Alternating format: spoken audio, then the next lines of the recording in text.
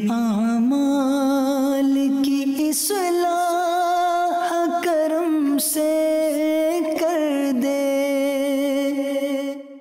अल्हम्दुलिल्लाह रब्बिल आलमीन।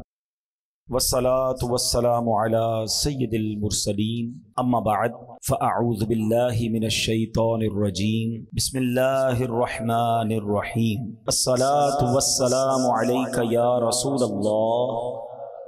व अला आलिका व अस्हाबिका या हबीबल्लाह अस्सलातु वस्सलामु या नबियल्लाह व अला आलिका या नूर अल्लाह दुरूद पाक पढ़ने के बेशुमार फ़ज़ाइल व बरक़ात हैं।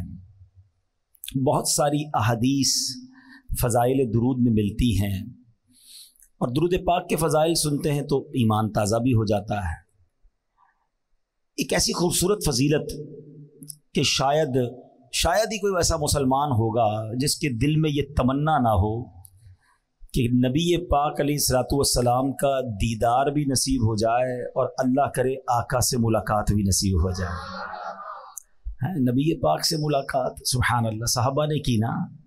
कैसा दीदार था कि जो ईमान की हालत में देखता था तो सहाबी के दर्जे पर पहुँच जाता था। सहाबी की तारीफ़ क्या है? What is the definition of सहाबी? कि जिसने ईमान की हालत में नबी पाक का दीदार किया या उनकी सोहबत उठाई और ईमान की हालत में उसका इंतकाल हो गया।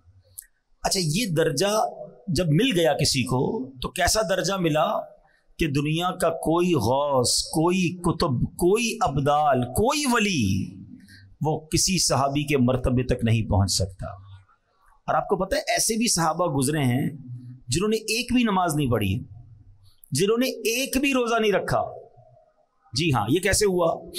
गजवात होते थे ना, मुसलमानों की गैर मुस्लिमों से जब लड़ाई होती थी तो कुछ लोग आते, नबी ये पाक के पास एक वाक़ किताबों में भी लिखा कि एक शख्स आया और उसने कहा कि, हुजूर, अगर मैं ईमान ले आऊँ और गजबे में जाकर शिरकत करूँ, शहीद हो जाऊँ तो मेरे लिए क्या हुक्म है? आका ने फरमाया, तुम्हें भी जन्नत मिलेगी। कलमा पढ़ा और लड़ने चले गए और शहीद हो गए। कोई नमाज़ ही नहीं पढ़ी, कोई सजदा ही नहीं किया। लेकिन चूँकि दीदार मुस्तफ़ा हो चुका था, ईमान की हालत में जलवाए जाना देख लिया था तो करोड़ों नमाज़ पढ़ने वाले, सजदे करने वाले, लाखों इबादतें करने वाले एक तरफ़ और जिसने जलवाए जाना देख लिया, उसका मरतबा एक तरफ़।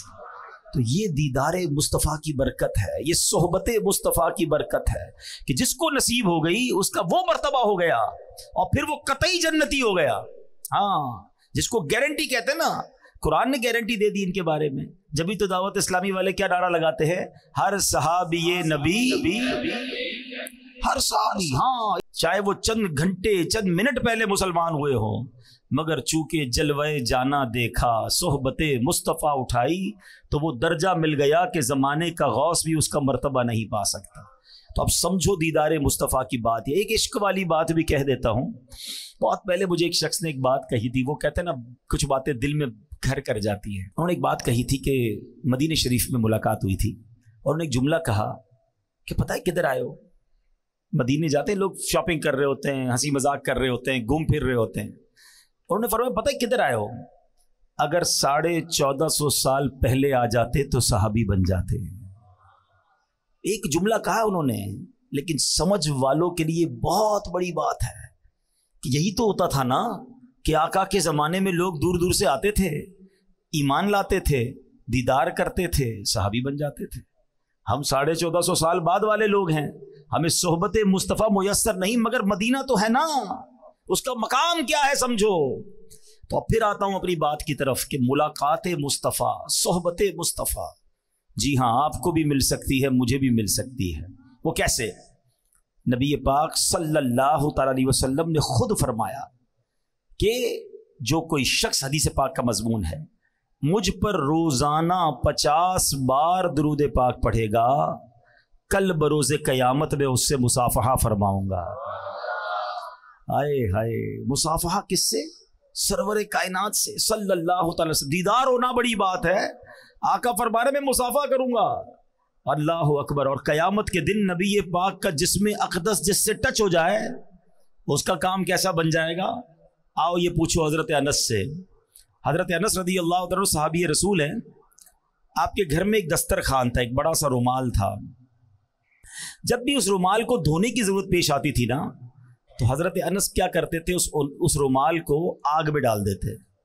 और थोड़ी देर बाद बाहर निकालते तो मैल जल जाता था, कपड़ा साफ़ हो जाता था। हम क्या करते हैं वॉशिंग मशीन में डालते हैं, वो आग में डालते थे। किसी साहबी ने कहा, हजूर, ये कौन सा तरीका है मैल साफ़ करने का? आपने फरमाया, बात यह है कि एक बार सरकार दो आलम, सल्लल्लाहु ताला अलैहि व आलिहि वसल्लम मेरे घर तशरीफ़ लाए थे। मेरे आका ने इस कपड़े को हाथ लगाया है। जब से हाथ लगाया है दुनिया की आग असर ही नहीं करती है। अब मुझे बताओ जब कपड़े पर नबी पाक हाथ लगा लें दुनिया की आग असर ना करें जिस मुसलमान से हाथ मिला लें उसका क्या हाल हो जाएगा?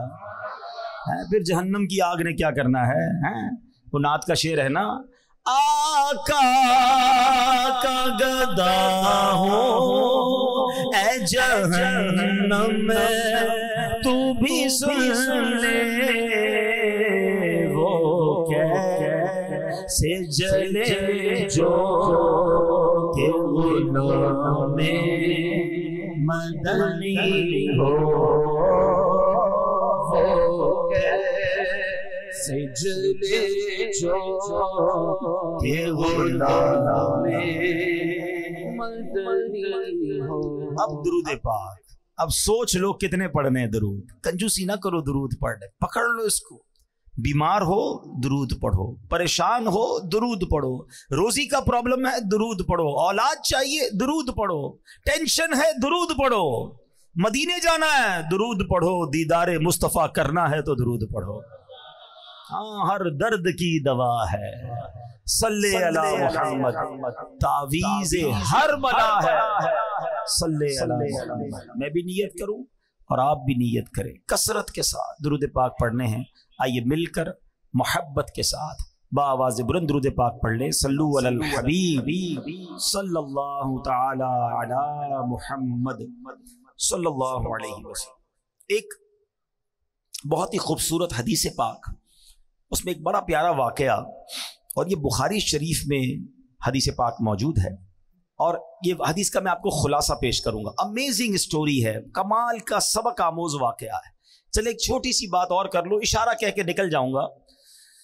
कुछ लोग कहते हैं, यार, आप वाकयात बड़े सुनाते हैं। है? कोई कुरान हदीस की बात किया करो। है? वाकयात बड़े सुनाते हैं। तो मैं तो बुखारी सुना रहा हूँ।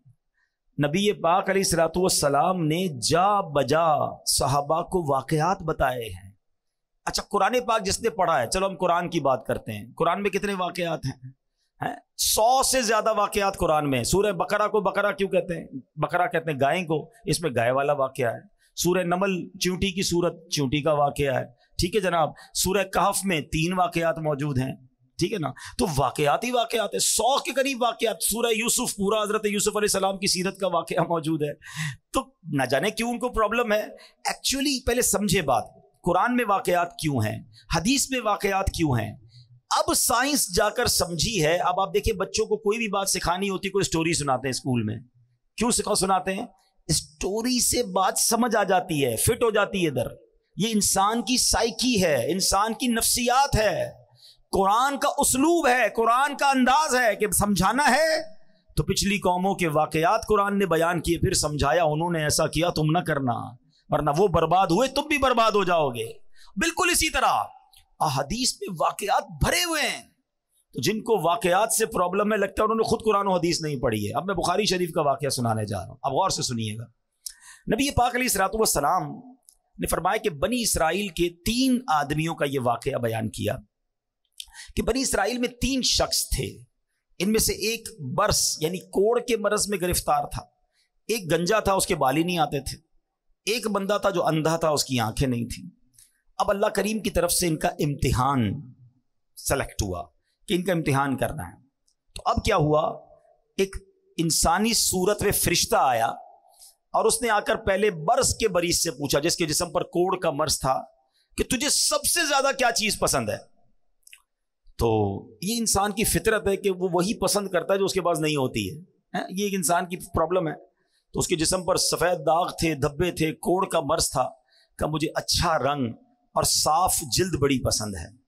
फरिश्ते ने उसके जिसम पर हाथ फेरा। हाथ फेरना था कि उसका जिसम बिल्कुल साफ़ सुथरा हो गया, जिल्द भी साफ़ सुथरी हो गई। कोड़ का मरज खत्म हो गया। अब उससे पूछा, तुझे कौन सा माल ज़्यादा पसंद है? तो वो कहता है, मुझे ऊँट बड़े परस, पसंद है।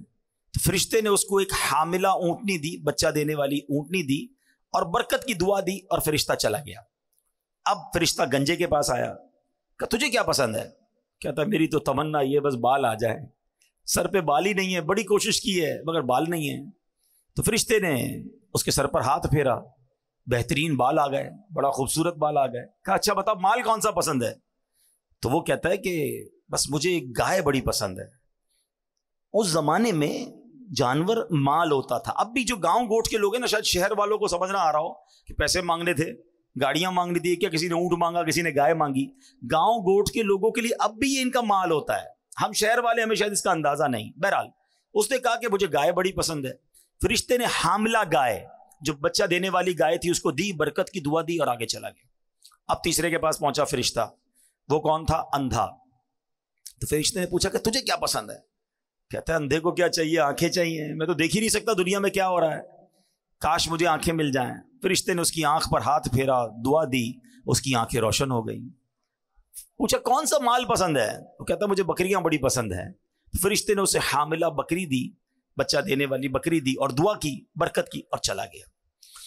अब अल्लाह का करना देखें कि जो बर्स वाला था, उसको ऊँटनी दी थी, गंजे को बाल भी दी और गाय भी दे दी, अंधे को आँखें भी मिल गई और बकरियाँ भी मिल गई। अब अल्लाह पाक ने इतनी बरकत दी कि तीनों के पास रेवड़ के रेवड़ हो गए? यानी दूसरे लफ्जों में वो लाखोंपति हो गए, करोड़पति हो गए।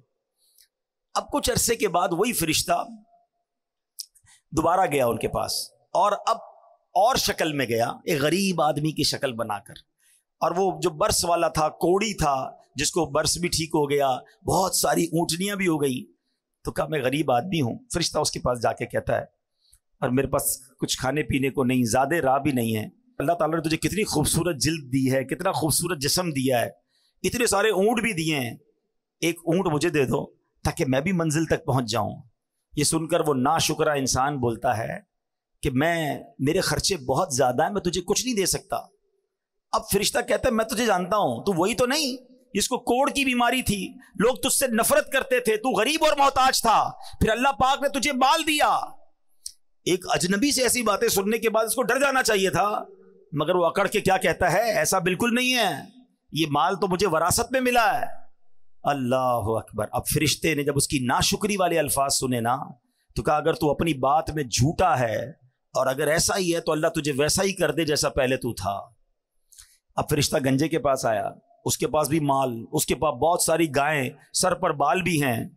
उसने कहा कि मुझे अल्लाह की राह में कुछ दे दो। एक एक गाय मुझे दे दो। मैं गरीब आदमी हूँ। कहा, नहीं नहीं, मैं तुम्हें कुछ नहीं दे सकता। कहा, तू वही तो नहीं जिसके सर पर बाल भी नहीं थे और कुछ माल भी नहीं था। अल्लाह ने तुझे दिया। कहता, नहीं मुझे विरासत में मिला है। ये मैंने सब कमाया है।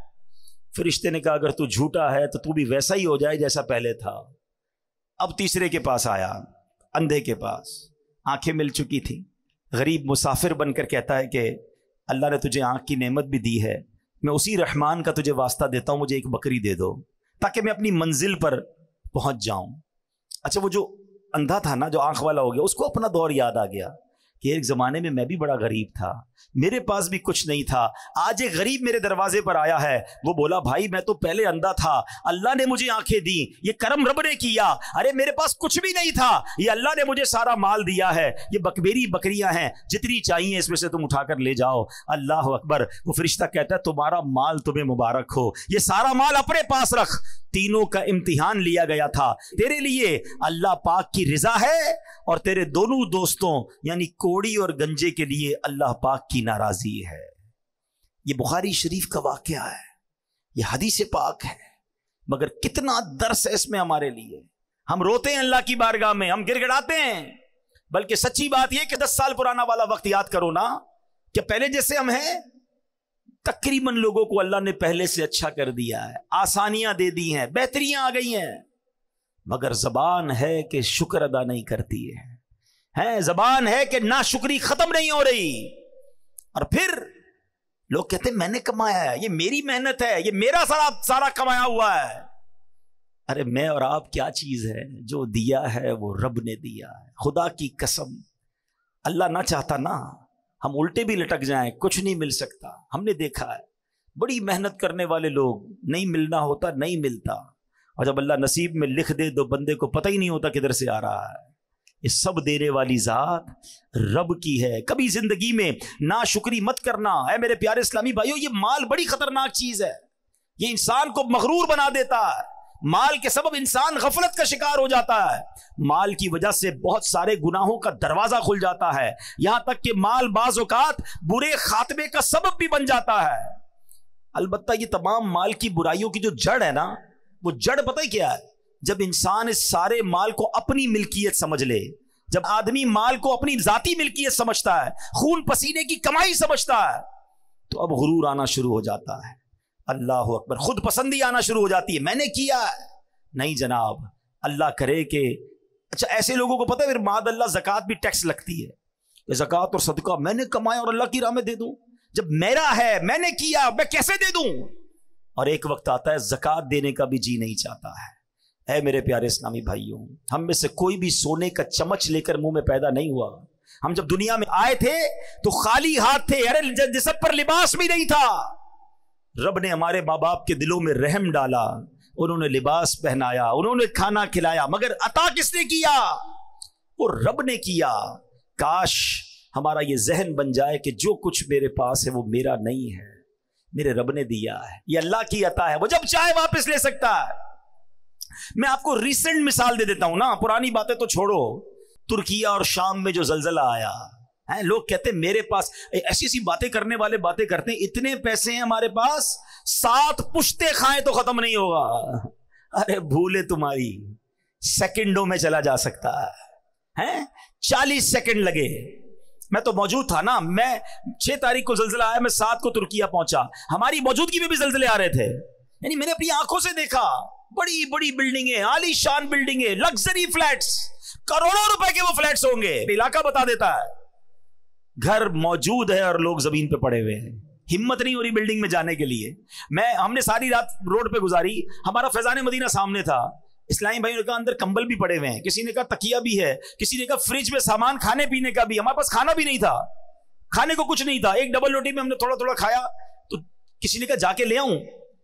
किसी ने कहा, नहीं, अंदर मत जाना, हल्का सा भी झटका आया तो पूरी बिल्डिंग में क्रैकें गिर जाएगी। यकीन करें, अल्लाह की कुदरत अपनी आँखों के सामने देखी कि करोड़ों रुपए के घर हैं, सामान है। किसी की हिम्मत नहीं हो रही अपने घर में जाने क्योंकि हर एक दो मिनट बाद एक बिल्डिंग गिर रही थी। थोड़ा सा जलजला आता, एक और गिर जाती, थोड़ा सा आता, एक और गिर जाती, क्रैक सब में पड़ चुके थे। तो चालीस सेकंड के अंदर, सात पुश्तों तक खाएँगी तुम्हारी औलाद? भूल है तुम्हारी, रब चाहे ना। तो सेकंडों में मालदार गरीब हो सकता है। जक़ात देने वाला, जक़ात लेने वाला बन सकता है। सेहतमंद मोहताज हो सकता है। पैर टूट गए, हाथ टूट गए, हड्डियाँ टूट गई। ज़िंदा लोग दुनिया से चले गए। और ऐसी बेबसी की मौत आई है, प्यारे इस्लामी भाइयों। अल्लाह हमारे सारे मुसलमान भाई बहनों की मगफरत फरमाए, जो इसमें शहीद हुए, वो आवाज़ें देते रहे। मैं मौजूद था, मुझे इस्लामी भाई कहा, बत्तीस अफराद इस बिल्डिंग में मौजूद हैं। और ज़िंदा हैं। आवाज़ें आ रही हैं। हैं? अच्छा कई कई आपने भी सोशल मीडिया पर देखा होगा। कई जगहों से तो अंदर बिल्डिंग से वीडियोस बना बना के लोग भेज रहे थे हम ज़िंदा में निकालो। क्योंकि वो जलजले में बिल्डिंग ऐसे क्रैक हुई थी कि उनके ऊपर नहीं गिरा मलबा, मगर रास्ता बंद हो गया। अब जब तक बिल्डिंग कटेगी नहीं, बंदा बाहर नहीं निकलेगा। तो बच्चे अंदर, औरतें अंदर, मर्द अंदर, मगर कोई निकाल ना पाया। दो तीन दिन तक तो आवाज़ें देते रहे। जब तक मोबाइल की बैटरी चलती रही, फ़ोन करते रहे, उसके बाद मोबाइल की बैटरी भी खत्म हो गई और साँसें भी खत्म हो गई। मेरा है, मैंने कमाया है, मेरी मेहनत है, मैंने इतनी बिल्डिंगें बना ली, मैंने इतने पैसे बना लिए। अरे, कुछ मैंने नहीं किया है, ये सब मेरे अल्लाह ने दिया है। सब मेरे मालिक का एहसान है। मैं भी भीख मांगने वाला हो सकता था। मैं भी रोड पर सोने वाला हो सकता था। मैं भी जनाब फटे पुराने कपड़े पहनकर बाजारों में घूमने वाला हो सकता था। अगर आज सवारी दी है तो रब ने दी है। आज घर दिया है तो रब ने दिया है। आज औलाद दी है तो रब ने दी है। अरे, इन बेचारे गरीबों की तो शादियाँ भी नहीं होती हैं। आज मेरे और आपके पास फैमिली है ना? बीवी है, बच्चे हैं, शुक्र अदा करो। क्योंकि रब ने इज़्ज़त दी तो शादी हुई ना। यही ना होती तो कैसे कर रिश्ता होता? कई गरीब है बेचारे रोडों पे सोते हैं, खाने को कुछ नहीं, कचरा उठाते हैं। कौन शादी करता है उनसे? फैमिली भी नहीं बन पाती उनकी। तो मैंने ऐसा क्या कमाल किया कि अल्लाह ने मुझे इतना कुछ दे दिया? और फिर भी मैं शिकवा करूँ? फिर भी मैं शिकायत करूँ? फिर भी मैं कहूँ कि मेरे पास कुछ नहीं, मैं पीछे रह गया। कभी शिकवा ना करना और कभी इतराना नहीं। जो दिया है, रब ने दिया है। मेरा कुछ नहीं है। अल्लाह ने दिया, ये जहन बना लो मेरे प्यारे इस्लामी भाइयों। और फिर अगर माल माल का हक अदा करना है ना तो फिर अल्लाह की राह में खर्च करो। जब है ही अल्लाह का, जब हम ये मान लेंगे, ये समझ लेंगे, ये रब का है, अल्लाह ने दिया है तो फिर खर्च करना भारी नहीं हो जाएगा। पैसे वाले तो बड़े आए, लोग कहते पैसे वाला होना चाहिए। अरे पैसे वाला कारून भी था, और पैसे वाले उस्मान गनी भी थे। हैं? अल्लाह कारूनी माल ना दे, उस्मानी माल अता फरमा। अल्लाह से दुआ मांगा करो, या अल्लाह पैसे दे दे, नहीं, ये ना कहा करो। अल्लाह, माल दे तो तेरी राह में खर्च करने का दिल भी अता फरमा।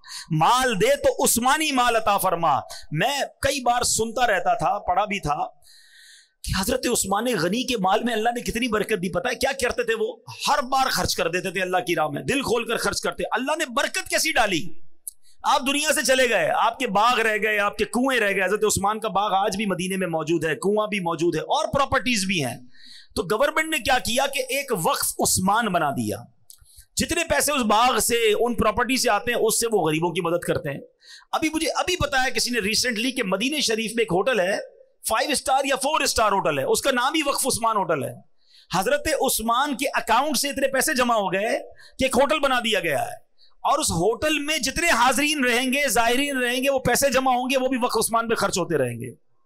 मैं सोचने लगा, अल्लाह अकबर, हज़रत उस्मान गनी का सवाब तो सोचो, वो आज मजार में है। मगर साढ़े चौदह सौ साल हो गए, सदका उनका जारी है। माल बहुत सौ के पास आया, जनाब। है, आजकल फहरिस्त आती है world number one world number two world number three अरे, क्या करना उस माल को? जो गर्क कर दे इंसान को, माल मिले तो अल्लाह उस्मान गनी के माल का सदका अता फरमा कारून के पास क्या था? कितना माल था, आपको पता है? यानी खजाना कितना था? खजाना नहीं, खजाने की चाबियाँ। जो कारून की थी ना, वो वो ऊंटों पर ला दी जाती थी। सिर्फ़ चाबियाँ तो सोचो खजाना कितना होगा। इसी माल की आफत कैसी उस पर गालिब हुई कि हज़रत मूसा सलाम की गुस्ताखी की, अल्लाह पाक के अहकाम की नाफरमानी की। कारून का प्रॉब्लम पता है क्या था? उसको इतना माल था कि हज़रत मूसा ने उसको जक़ात का जब हुक्म दिया ना तो उस जमाने पता है जक़ात कितनी थी? एक हज़ार पर एक रुपया। आज कितनी? सौ पर ढाई रुपए ना, अगर वो पूरा साल गुजर जाए फिर। उस जमाने में हज़ार पर एक रुपया थी, बहुत थोड़ी जक़ात थी। मगर उसकी वो हज़ार पर एक रुपया को जब उसने कैलकुलेट किया ना तो वो उस जमाने के अरबों रुपए बन गए। वो कहता है, इतने सारे जक़ात में कैसे दे दूँ? मेरा माल कम हो जाएगा।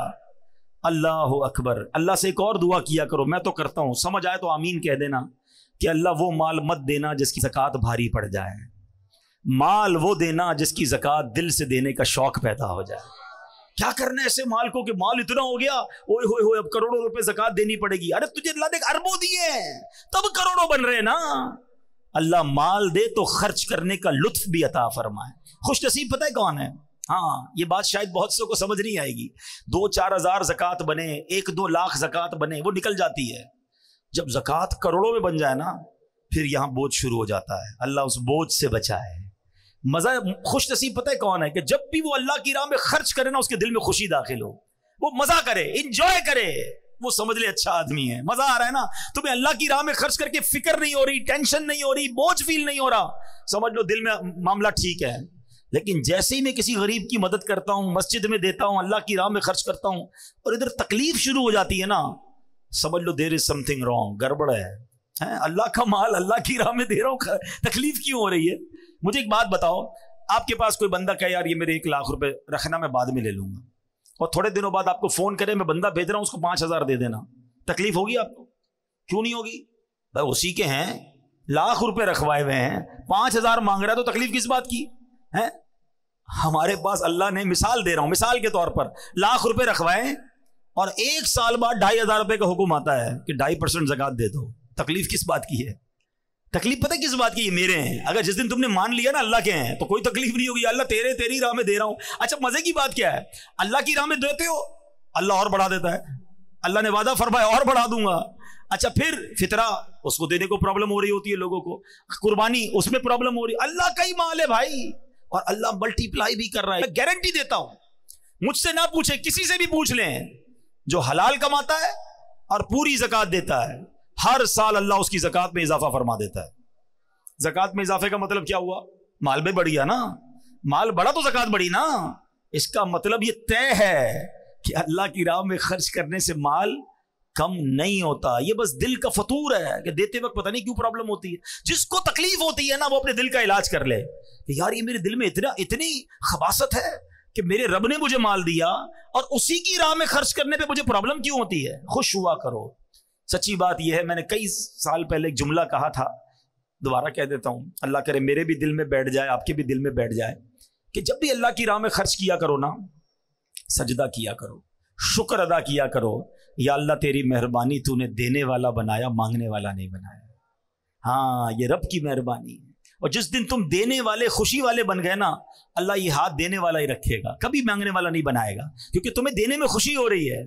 प्रॉब्लम जिनको होती है ना, जिनको जक़ात, बोझ फील होती है, वो अपना इलाज करे। तो कारून का यही प्रॉब्लम था। उसका नतीजा क्या निकला? कुरान कहता है, फखसफना बिही व बिदारिहिल अर्द। फमा कान लहू यंसुरूनहु मिन दूनिल्लाह, वमा कान मिनल मुंतसिरीन। कुरान कहता तो हमने उसे और उसके घर को ज़मीन में धसा दिया। तो उसके पास कोई जमात ना थी जो अल्लाह के मुकाबले में उसकी मदद करती और ना वो खुद अपनी मदद कर सका। अब जरा गौर कीजिए। अच्छा इसके अंदर एक और प्रॉब्लम पता है क्या थी? कुरान ही बताता है, कौल इन अला इल्मिन इंदी कारून कहता था कि ये तो मुझे एक इल्म की बिना पर मिला है, जो मेरे पास है। वही वाली बात, मैंने कमाया है, मैंने मेहनत की है, मैंने जनाब बड़ा कंप्यूटर का कोर्स किया, जब जाके पैसे बने, मैंने फला यूनिवर्सिटी की डिग्री ली है ना, तब जाके दो लाख रुपए की नौकरी मिली है। अरे, मैंने कितने साल कारीगर के साथ बैठकर काम सीखा है, तब जाके मेरा ये कारखाना बना है। यही हम कहते हैं ना, ये वाला इल्म था, ये वाली सोच थी। कारून ने भी यही कहा, मेरे पास एक इल्म है, उस इल्म की वजह से मुझे ये खजाना मिला। अल्लाह अकबर यही बुरी सोच थी, यही उसकी बातिल सोच थी कि कारून गजब इलाही का शिकार हुआ और बुरे खात्मे में मुबतला हो गया। कुछ नहीं है मेरे पास। जो दिया है, रब ने दिया है। फकत अल्लाह की मेहरबानी से तुम्हें तरक्की मिल रही है।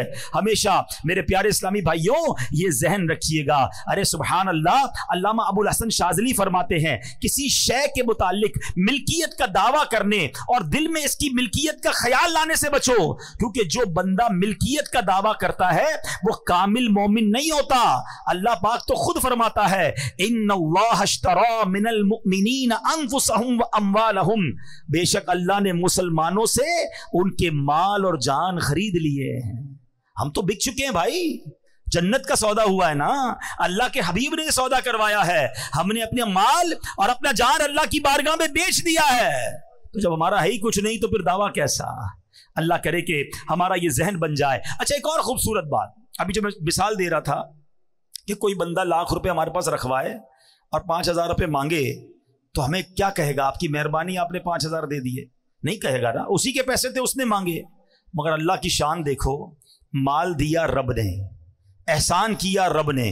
और अब जब हम अल्लाह की राह में खर्च करते हैं तो अल्लाह कुरान में क्या फरमाता है? सुबहान अल्लाह मेरे रब की शान करीमी देखो, अल्लाह कुरान में फरमाता है मंगलदी युकरदुल्लाह करदन हसना। है कोई जो अल्लाह को कर्ज हसन दे? अरे, जरा सोचिए अल्लाह तेरा माल है, हमारी क्या औकात के तुझे कर्ज दे? अल्लाह फरमाता है कोई जो अल्लाह को कर्ज हसन दे? अदाफन कसीरा। तो अल्लाह उसके लिए बहुत गुना बढ़ा दे। वल्लाहु यकबिदू व यबसुत और अल्लाह तंगी और कशाइश यानी खोल देता है।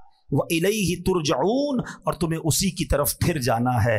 अल्लाह अकबर। तफसीर सरातुलजनान में इस आयत के तहत है कि राह खुदा में इखलास के साथ खर्च करने को कर्ज से ताबीर फरमाया। ये अल्लाह का कमाल दर्जे का लुत्फ करम है, क्योंकि बंदा बनाया हुआ उसी का, माल उसका अता फरमाया हुआ। हकीकी मालिक वो, जबकि बंदा उसकी अता से मजाजी मिल्क रखता है। मगर कर्ज से ताबीर क्यों की गई? उलमा ने बड़ी बहस की। अल्लाह ये फरमा देता, है कोई जो अल्लाह की राह में खर्च करे?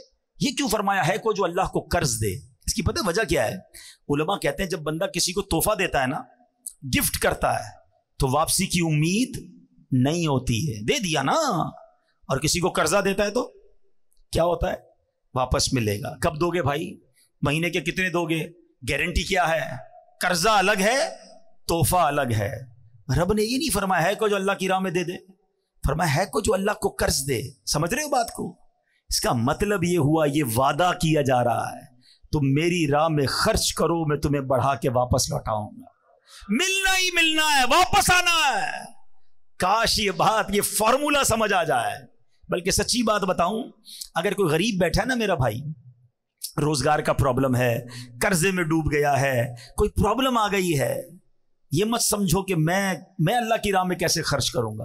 बल्कि किबला मुफ्ती कासिम साहब ने एक बड़ी प्यारी बात तफसीर कुरान जनान में लिखी कि दुनिया भर के अमीरों का जायजा लेना तो मेजॉरिटी यानी अक्सरियत उनमें कहीं ना कहीं अच्छे काम में कुछ ना कुछ खर्च कर रही होती है।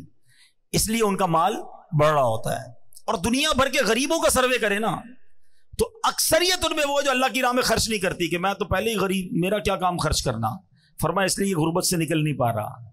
अगर गरीब भी अपनी हैसियत के मुताबिक खर्च करना शुरू कर देना, अल्लाह ने वादा किया है कि ये कर्जा है। अल्लाह के हबीब ने वादा फरमाया कि कम नहीं होगा। तुम्हारा माल तुम्हें फिर लौटाया जाएगा, बढ़ा के लौटाया जाएगा मल्टीप्लाई करके लौटाया जाएगा। चाहे एक रुपए से शुरू करो, चाहे पाँच रुपए से शुरू करो, किसी गरीब की मदद, किसी दीदी काम में खर्च करते रहा करो, वो कैसे लौटाता है? अब जरा सुनते जाना। मैं मुख्तसरन एक दो हदीसें और एक दो वाकयात सुनाता हूँ। सहाबी रसूल हज़रत अबू हुरैरा रदी अल्लाह तु से रिवायत है, अल्लाह अकबर, ये भी बुखारी शरीफ की हदीस है। अल्लाह पाक के आखिरी नबी रसूल हाशमी सल्लल्लाहु अलैहि वसल्लम ने फरमाया फरमाया ऐसा कोई दिन नहीं जिसमें बंदे सवेरा करें और दो फरिश्ते ना उतरें, जिनमें से एक कहता है, इलाही सखी को ज़्यादा अच्छा इवज दे। और दूसरा कहता है, इलाही कंजूस को बर्बाद कर दे। यानी आप जरा सोचे फरिश्ता रोज बदुआ कैसे दे रहा है? कंजूस को बर्बादी दे जो नहीं खर्च करता अल्लाह की राह में, जो कंजूसी करता। है और जो सखी है, उसके लिए कौन दुआ कर रहा है? फरिश्ता दुआ कर रहा है। आज मैं और आप किसी आलिम दीन, किसी बुज़ुर्ग, किसी पीर साहब को ढूंढते हैं ना, हज़रत जरा दुआ कर दे। खास मसला है दुआ कर दें। अरे तुम अल्लाह की राह में खर्च करना शुरू करो, सुबह सवेरे फरिश्ते दुआ करेंगे तुम्हारे लिए। और फरिश्तों की दुआएँ हासिल हो सकती हैं। अल्लाह करे ये बात समझ आ जाए। अल्लाह अकबर, नबी पाक की एक और हदीस है, हर शख्स बरोज़ क़यामत अपने सदक़े के साय में होगा। यहाँ तक कि लोगों के दरमियान फैसला फरमा दिया जाए। हज़रत यजीद बिन अबू हबीब रहमत से मरवी है कि हज़रत मरसद बिन अबू अब्दुल्ला रहमत अहले मिस्र में वो पहले शख्स थे जो शाम के वक्त मस्जिद में जाया करते।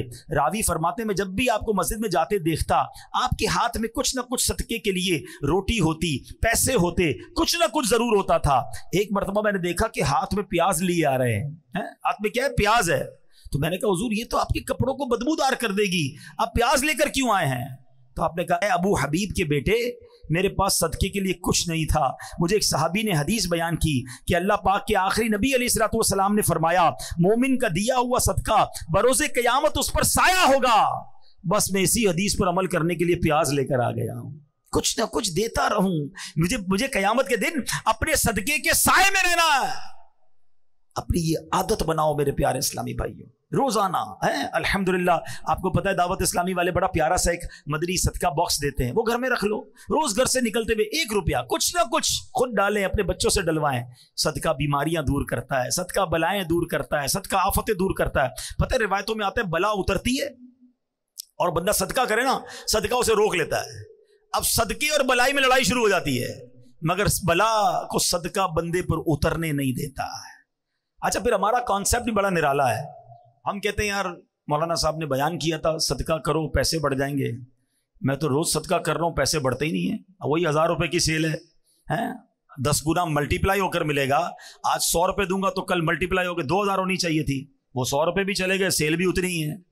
तो अब प्रॉब्लम पता है क्या कि हमारा माइंड सेट माल को मल्टीप्लाई करने में। अब मैं आपसे सवाल करता हूँ, आप सौ रुपये सदका करें।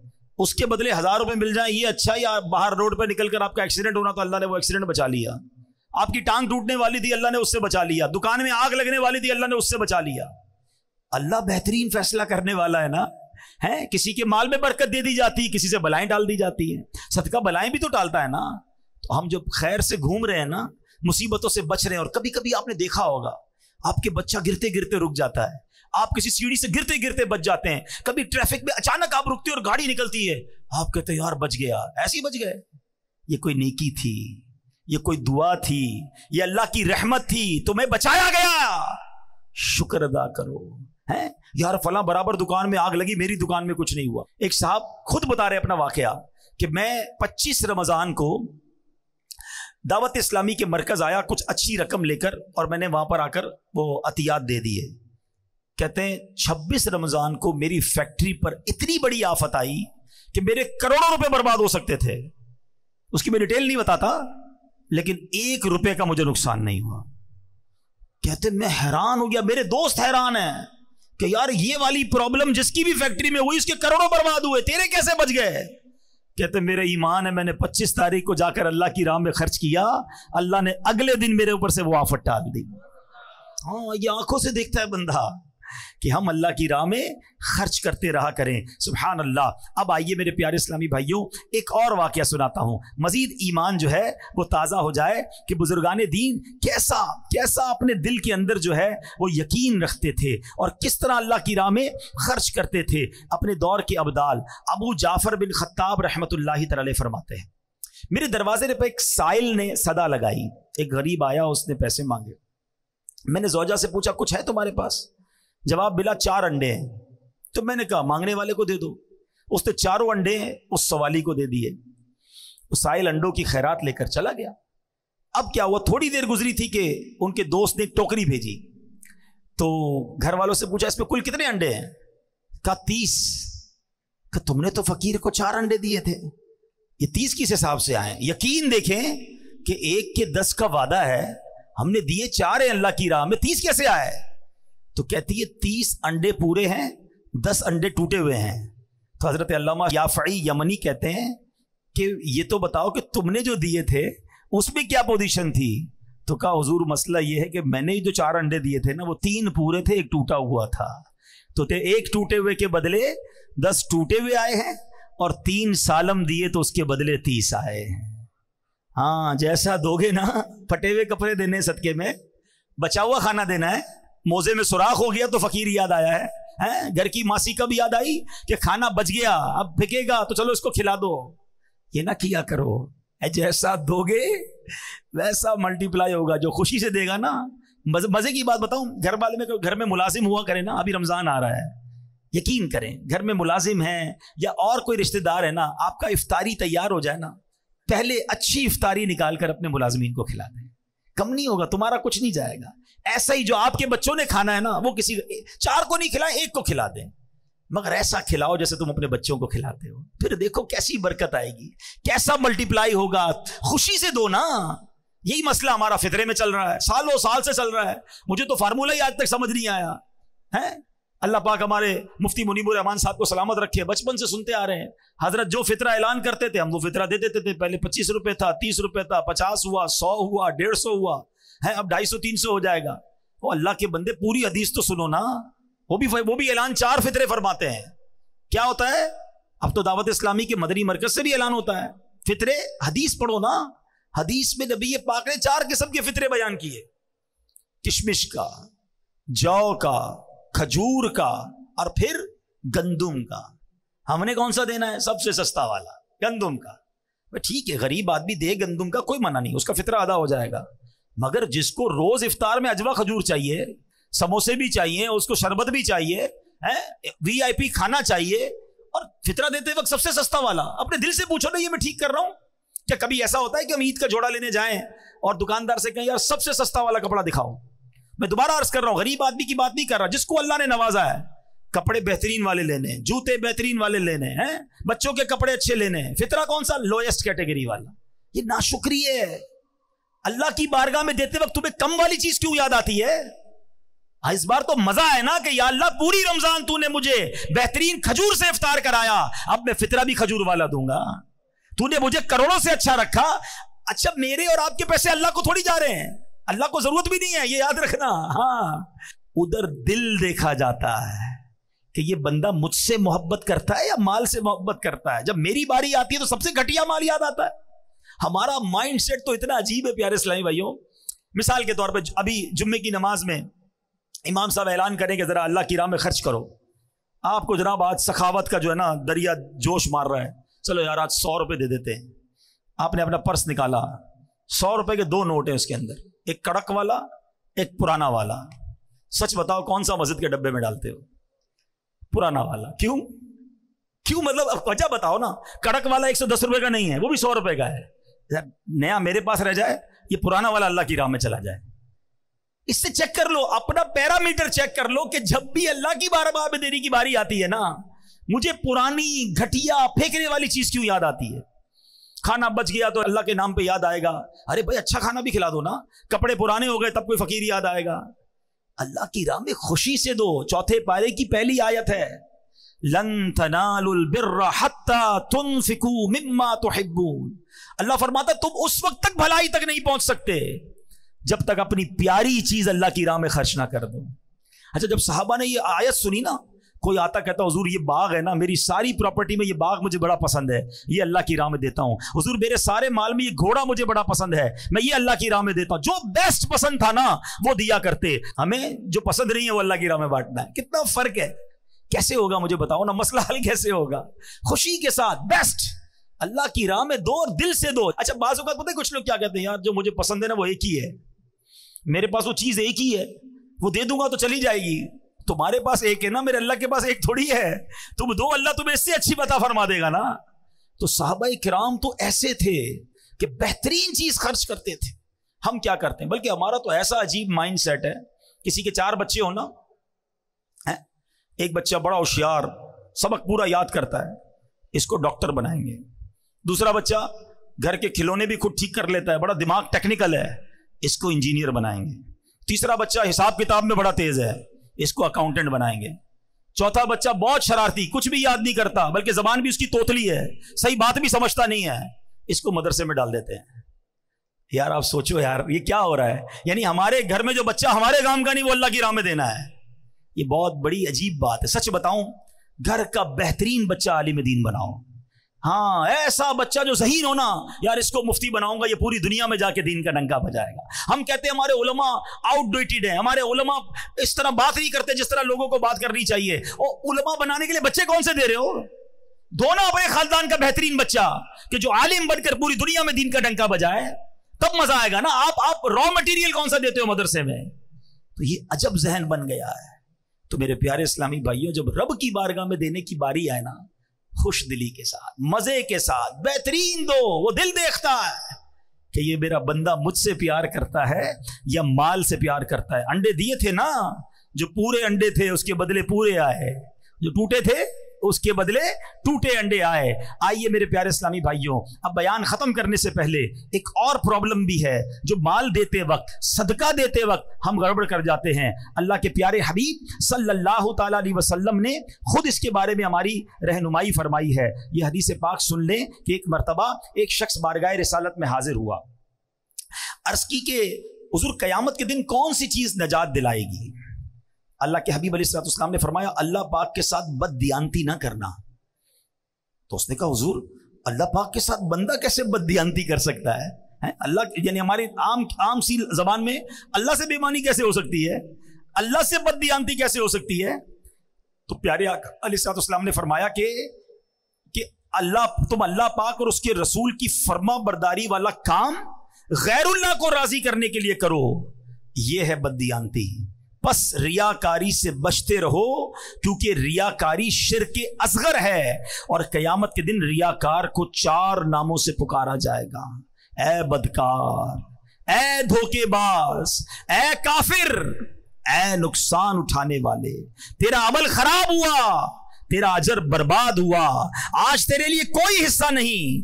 ए धोखा देने की कोशिश करने वाले, अपना सवाब उसके पास तलाश कर, जिसके लिए अमल किया करता था। ये बड़ा मसला है।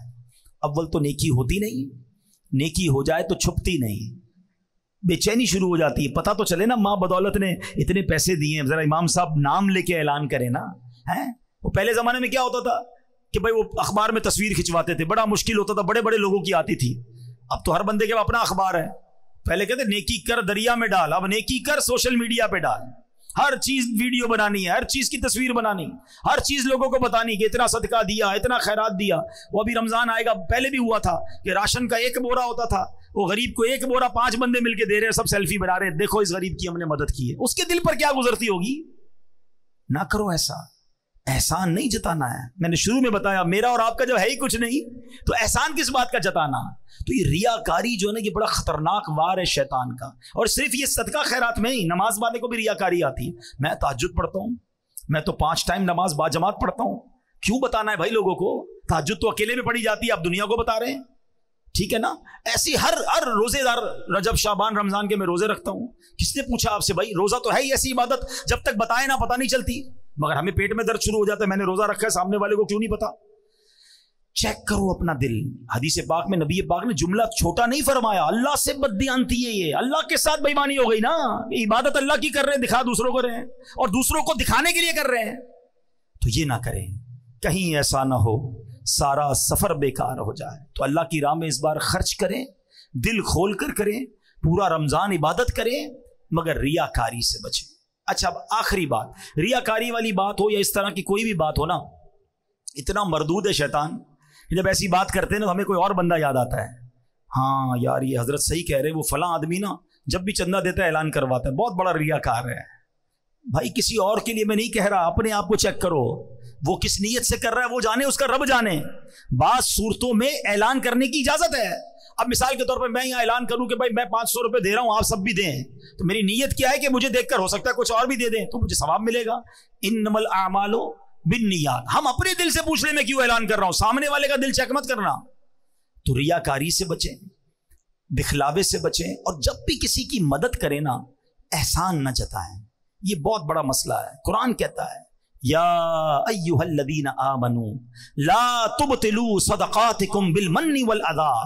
ईमान वालों अपने सदके बातिल न करो एहसान जताकर तकलीफ़ पहुंचाकर हाँ भाई याद है ना नौकरी करने आया था मेरे पास दो पट्टी के चप्पल पहनकर आया था आज मोटरसाइकिल वाला हो गया मेरा एहसान याद है भूल तो नहीं गया मैंने कर्जा दिया था ठेला लगाता था दुकान वाला हो गया तेरी बहन की शादी जब वक्त तू मेरे पास आया था मैंने तेरे को कर्जा दिया था तोबा तोबा तोबा। जो ये करता है, वो सोचे, वो कितनी तकलीफ़ पहुंचाता है उस गरीब आदमी को। अरे, मेरे पास था क्या? अल्लाह की मेहरबानी थी तो मैंने इसकी मदद की है। मैं भी तो किसी के दरवाजे पर मदद लेने जा सकता था। कभी ज़िंदगी में एहसान मत जताना। एहसान जताने से उसको तकलीफ़ पहुँचती है। तुम्हारा सदका भी जाया हो गया। मैंने उम्र करवाया था, मैंने इसको हज करवाया। मैंने कुछ नहीं किया यार। अल्लाह ने दिया तो सब हुआ है। हमारे बुज़ुर्ग कैसे मदद करते थे? कभी कभी ऐसे भी किया करो। कि जिसकी मदद की ना, उसको पता भी ना चले कि मदद किसने की है। हाँ उसको पता भी ना चले। खुफिया तौर पे उसके पास मदद पहुँच जाया करती थी। हम तो जनाब बोलते भाई, पैसे मैंने दिए रोज नमाज़ के बाद दुआ करना मेरे लिए। उसकी ड्यूटी लगा देते हैं। अरे, वो दुआ करे ना करे, क्यों जता रहे हो? अल्लाह तो देख रहा है ना। अल्लाह ने कबूल कर लिया, तुम्हारे वारे नियारे हो जाएँगे। दुआएँ लेने वाले बनो, हाय लेने वाले ना बनो। तो आए मेरे प्यारे इस्लामी भाइयों, सारा माल किसका है? अल्लाह का है। जो दिया वो किसने दिया? रब ने दिया। मेरा कुछ भी नहीं है। पहले तो ये जहन बनाओ। और फिर अल्लाह ने दिया है ना तो खर्च करें। अपने गरीब रिश्तेदारों को दें, दीगर मुसलमान भाइयों की मदद करें, माह रमज़ान में अपने दस्तरखान के साथ साथ कोई एक दस्तरखान अच्छा कर दें। उनके दस्तरखान पर भी खाना पहुँच जाए। ये रोडों पर जो बहुत सारे लोग बांटते हैं, उससे बेहतर ये कि किसी गरीब के घर में पहुँचा दें। रोड पर तो बहुत सारे लोग खा लेते हैं, मगर हमारे घर में बहनें, उन तक तो नहीं पहुँचता ना सामान। तो किसी एक रिश्तेदार, किसी एक गरीब के घर तक पहुँचाने का इंतज़ाम करें और उसके बाद अपनी ज़क़़त में, अपनी दावत इस्लामी को याद रखें, जो दीन मदीन का इतना बड़ा काम पूरी दुनिया में कर रही है। हमारे मदरसतुलमदीना और जामियातुलमदीना हैं, जिसमें बच्चे और बच्चियाँ बग़ैर फ़ीस के कुरान पाक पढ़ रहे हैं, दरस निज़ामी कर रहे हैं। अल्हम्दुलिल्लाह, एक लाख से ज़्यादा हाफिज़ कुरान दावत इस्लामी ने पाकिस्तान में इस उम्मत को अता फरमा दिए हैं। कराची के बुज़ुर्ग बैठे हैं, एक इशारा करूँगा, मेरी बात समझ जाएँगे। मैं जब छोटा था, आज से तीस साल पुरानी अगर बात करें तो करा कराची में तरावी पढ़ाने के लिए हाफिज कुरान नहीं मिलता था। पंजाब से बुलाना पड़ता था। ऐसा ही है? और आज मुझे बताओ कराची में कौन सी गली है जहाँ तरावी नहीं हो रही है? कौन सी बिल्डिंग है जहाँ तरावी नहीं? एक एक बिल्डिंग में तीन तीन तरावियाँ हो रही कैसे हो रही है भाई? हाफिज कोई दरख्त में गए हैं? हैं? किसी फ़सल में निकले हैं? ये दावत इस्लामी के मदरसे हैं। अल्हम्दुलिल्लाह, एक लाख से ज़्यादा हाफिज कुरान दावत इस्लामी ने बना दिए। कुरान की खिदमत का कैसा निज़ाम बनाया? हज़ारों बच्चों और बच्चियों ने दरस निज़ामी कर लिया। डेढ़ सौ के करीब इंग्लिश मीडियम स्कूल बना दिए। चौंतीस हज़ार बच्चे और बच्चियाँ उसमें दुनियावी तालीम के साथ साथ दीनी तालीम हासिल कर रहे हैं। साल की छः सौ के करीब मस्जिदें दावत इस्लामी मुल्क और बैरून मुल्क में बना रही है। आजकल चैनल पर जो बेहयाई और फहाशी है, किसी को बताने की ज़रूरत नहीं है, मगर एक चैनल ऐसा है जिसको देखकर गैर मुस्लिम मुसलमान हो रहे हैं। बेनमाजी नमाजी बन रहे हैं, शराबी शराब छोड़ रहे हैं। अरे चैनल देखकर रक्सो सुरूर की महफिल सजदे तो सुनी होंगी, मगर ये कैसा चैनल आया जिसको देखकर मदीने की याद में आँसू बह रहे हैं? अल्लाह के खौफ से दिल लरज रहे हैं, लोग गुनाहों से तौबा कर रहे हैं माँ बाप का हाथ चूम रहे हैं, सिर्फ़ उर्दू जबान में नहीं, इंग्लिश जबान में, फिर उसके बाद बंगला जबान में। अब जनाब अरबी जबान में यूट्यूब पर मदरी चैनल शुरू कर दिया। बच्चों की नफ्सियात के मुताबिक, बच्चों के प्रोग्राम किड्स मदरी चैनल शुरू किया गया और उसके बाद जब कार्टून्स के ज़रिए बेहयाई फैलाई जा रही है, कार्टून्स के ज़रिए अब जनाब बच्चों के साथ उनको गलत रस्म रिवाज सिखाए जा रहे थे तो उसको काउंटर करने के लिए दावत इस्लामी ने एनिमेटेड खाके बनाए, अपने इस्लामिक कार्टून्स बनाए और अब वो कार्टून्स भी कई जबानों में अल्हम्दुलिल्लाह शाया किए जा रहे हैं और आपको जानकर खुशी होगी इसकी पजीराई कैसे है। कभी मौका मिले तो यूट्यूब पर किड्स लैंड बदरी चैनल को सर्च कीजिएगा। हमारे एक एक कार्टून के क्लिप को 50 50 मिलियन लोगों ने देखा है। 50 मिलियन का मतलब पाँच करोड़ लोग होते हैं। 40 मिलियन का मतलब चार करोड़ लोग होते हैं। तो दुनिया भर के बच्चे देख रहे हैं, वो दीन सीख रहे हैं। कौन सा मैदान है जिसका जिसमें दावत इस्लामी लादीनी कुवतों का मुकाबला नहीं कर रही? और आगे चले। अब जब फलाही काम की बात करते हैं आका अली सलाम की दुखियारी उम्मत की बात करते हैं तो किस मौके पर दावत इस्लामी ने खिदमत नहीं दी? 2005 में जलजला आया, कश्मीर में जलजला आया, उस जमाने में भी दावत इस्लामी वालों ने वहाँ जाकर करोड़ों रुपए की इमदाद की। और जब 2019-20 में कोविड आया, एक करोड़ के करीब मुसलमानों तक खाना, पानी और राशन पहुँचाया गया। करोड़ों रुपए की इमदाद की गई। उसके बाद 2022 में जब सैलाब आया, साढ़े तीन अरब के करीब रुपए और सामान वहाँ तकसीम किया गया। एक नया काम एफ़ के तहत हो रहा है, जो शायद कराची वालों को नहीं पता। है कराची वालों, हम बड़े सुकून में हैं। हमारे सिंध के भाई अब तक डूबे हुए हैं। लोग समझते सैलाब खत्म हो गया। अब भी लाखों लोगों के घरों में पानी मौजूद है। अभी भी लाखों एकड़ ज़मीन पर पानी मौजूद है। हमारी टीम जब वहाँ गई और जाकर देखा कि छह महीने हो गए, अब तक पानी नहीं निकला है। जितना सूखना था, सूख गया। जितना निकलना था, निकल गया। अब नहीं निकल रहा और नहीं निकलेगा तो उनके घर कैसे आबाद होंगे? हॉस्पिटल्स में पानी, मस्जिदों में पानी, कब्रस्तान में पानी। अब फैसला किया गया कि हम पंप लगाते हैं और इनका पानी बाहर निकालते हैं। आपको याद होगा, एक बार कराची में बारिश हुई थी तो ये पूरा खारादर का पानी से भर गया था और पानी एक हफ़्ता रहा था तो उस पानी में बदबू और गंदगी का आलम क्या था? इधर भी दावत इस्लामी वालों ने पंप लगाए थे, मगर उधर छह महीने हो गए हैं, वो पानी नहीं निकला है। आपको जानकर खुशी होगी, अब तक पाँच अरब गैलन पानी दावत इस्लामी वाले निकाल चुके हैं। तकरीबन तीस हज़ार एकड़ से ज़्यादा ज़मीन हमने पानी से फारिग कर दी है। कब्रस्तान पानी से फारिग हो गए। स्कूलें, मस्जिदें, हॉस्पिटल, अल्हम्दुलिल्लाह, लोग अपना काम काज करने लग गए। मगर अब भी ये काम जारी है। अब भी हमारे पंप लगे हुए हैं। अब भी लाखों रुपए का डीजल रोज़ाना की बुनियाद पर भेजा जा रहा है ताकि हमारे मुसलमान दुखियारे भाइयों का पानी निकले। अभी ये काम जारी था कि तुर्किया में जलजला आ गया, शाम में जलजला आया दावत इस्लामी वाले। सुबह शाम वहाँ भी काम कर रहे हैं। हमने अल्हम्दुलिल्लाह, अब एक और कॉन्ट्रैक्ट साइन किया है तुर्की गवर्नमेंट के साथ मिलकर कि हम अब कंटेनर दे रहे हैं। कंटेनर हाउसेस कहलाते हैं।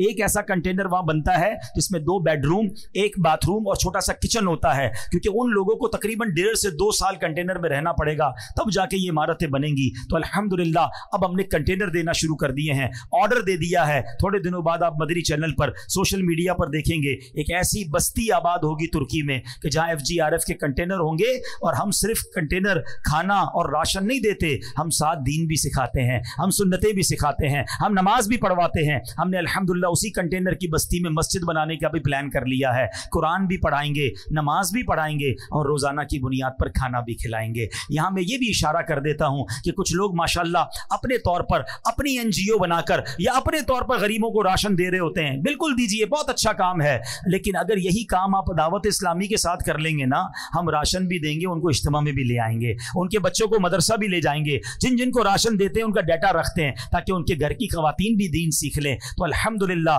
राशन तो पहुंचेगा।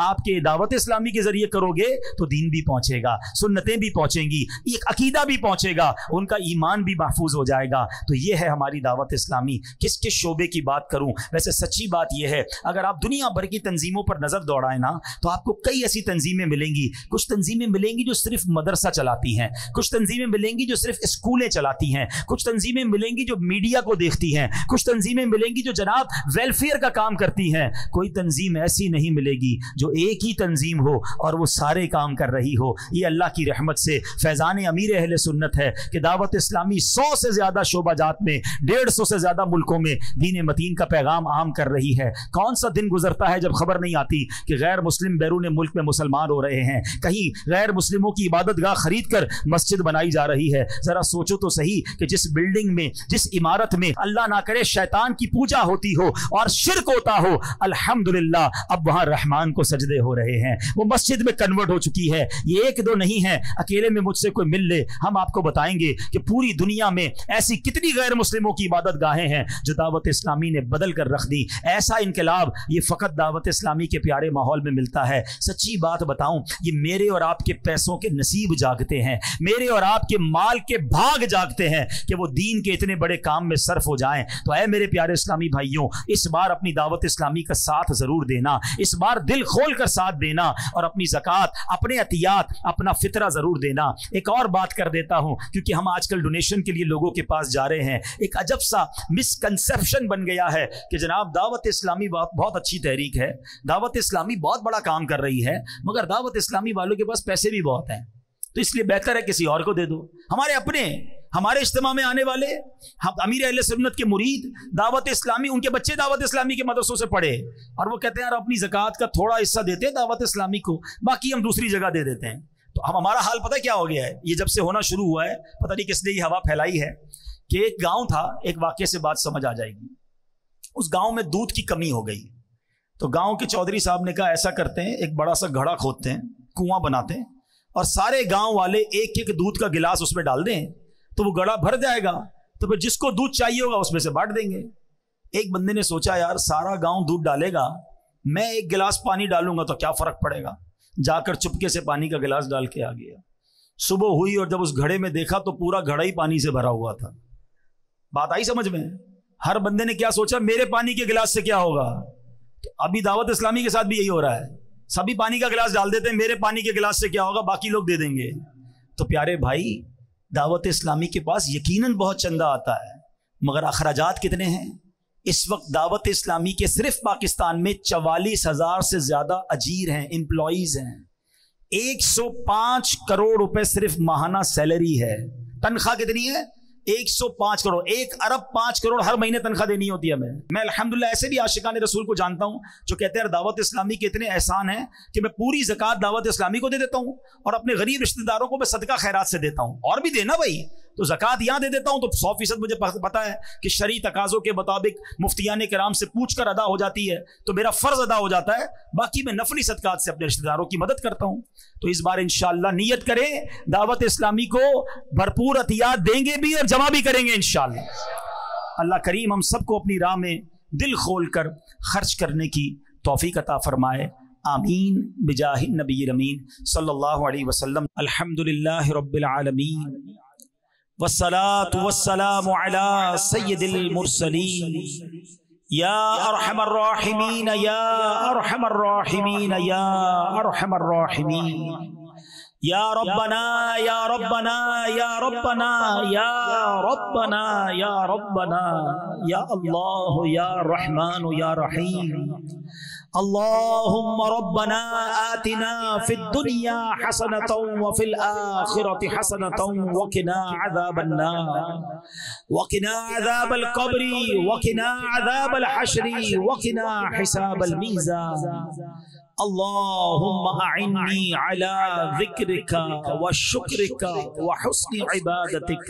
अला ज़िक्रिका व शुक्रिका व हुस्नि इबादतिक या मुकल्लिबल कुलूब सब्बित कुलूबना अला दीनिका या मुसर्रिफल कुलूब सर्रिफ कुलूबना अला ताअतिका अल्लाहुम्मा रज़ुकना ईमानन कामिला व यकीनन सादिका व क़ल्बन खाशिआ व बदनन आबिदा व रिस्कन हलालन तय्यबन वासिआ या अल्लाह व तौबतन क़ब्ल अल मौत व राहतन इंदल मौत वलअफ़्व इंदल हिसाब वन्नजात मिनन नार वल फौज बिल जन्न बिगैरि हिसाब या अज़ीज़ या गफ्फार या रब्बल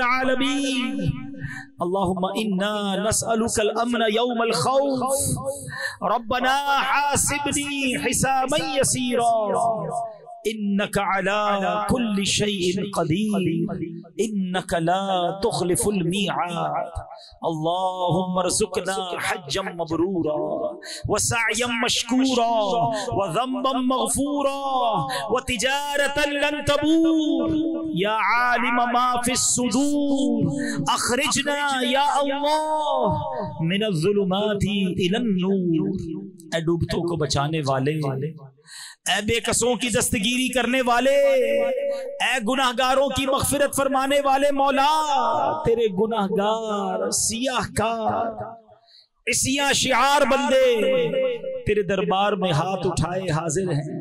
झोली फैलाए हाथ फैलाए तेरे घर में जमा हो गए। अंतल गनीयू व नहनु फुकरा या अल्लाह। अंतल गनीयू व नहनु फुकरा या अल्लाह। ए रब्बे करीम हमारी खाली झोलियों में मगफिरत की खैरात डाल दे। हमें अपनी रिजा की खैरात से नवाज़ दे। अल्लाह हमारे सगीरा गुनाह भी मुआफ कर दे। हमारे कबीरा गुनाह भी मुआफ फरमा दे। हमारे छुप कर किए हुए गुनाह भी माफ़ कर दे। हमारे ऐलानिया गुना भी माफ़ कर दे।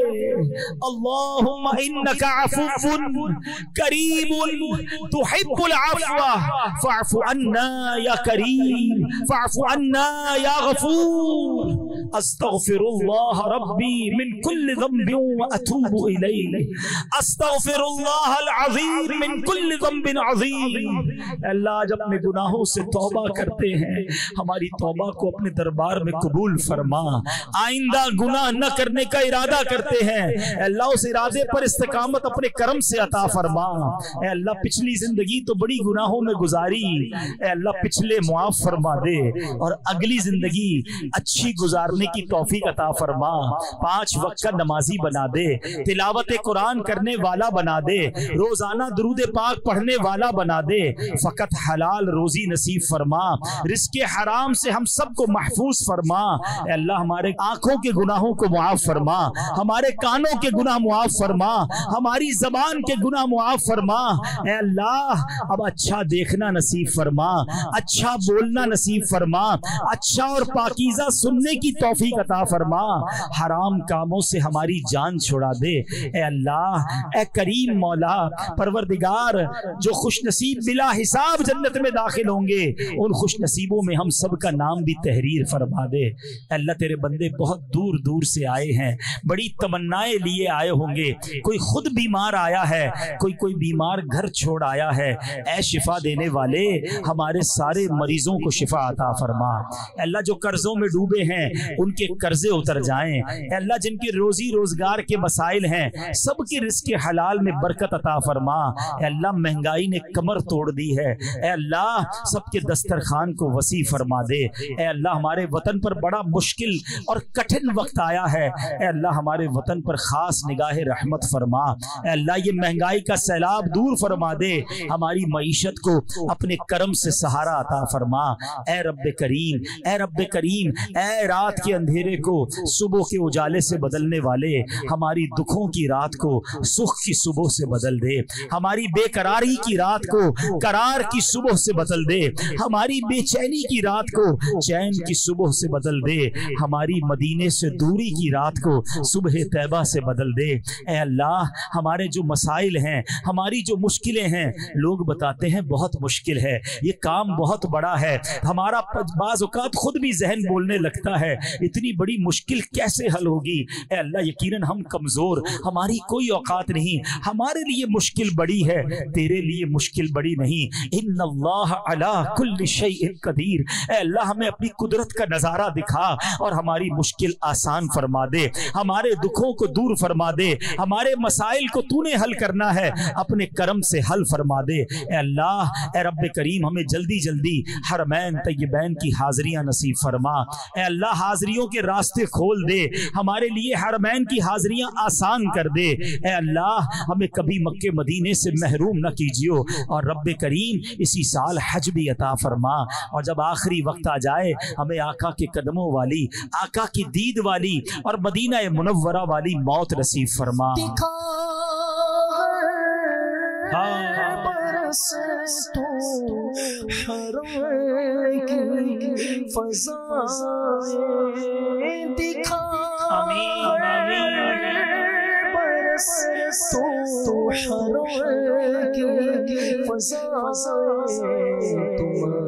तो की मदीना दिखा दिखाया फिर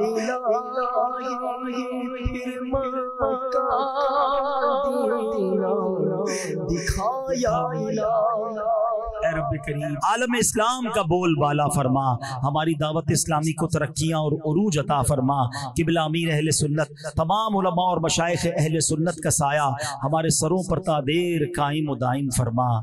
व उफव्विदु अमरी इलल्लाह इन्नल्लाह बसीरुम बिल इबाद ला इलाहा इल्ला अंत सुब्हानका इन्नी कुन्तु मिनज़ ज़ालिमीन कहते रहते हैं दुआ के वास्ते बंदे तेरे कर दे पूरी आरज़ू हर बेकसो मजबूर की बरकती अल्लाह व मलाइकतहु युसल्लून अलन नबी या अय्युहल्लज़ीना आमनू सल्लू अलैहि व सल्लिमू तस्लीमा अल्लाहुम्मा सल्लि अला सय्यिदिना व मौलाना मुहम्मदिन तिब्बिल कुलूबी व दवाइहा व आफियतिल अबदानी व शिफाइहा व नूरिल अबसारी व दियाइहा व अला आलिहि व सहबिहि व बारिक व सल्लिम जब दमे वापसी हो या अल्लाह सामने हो